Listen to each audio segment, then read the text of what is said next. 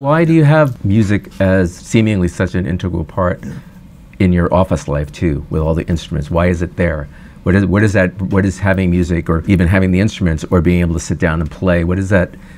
What does that bring to you as a business person? Honestly, it's tough for me to speak creatively without a guitar on my lap like this.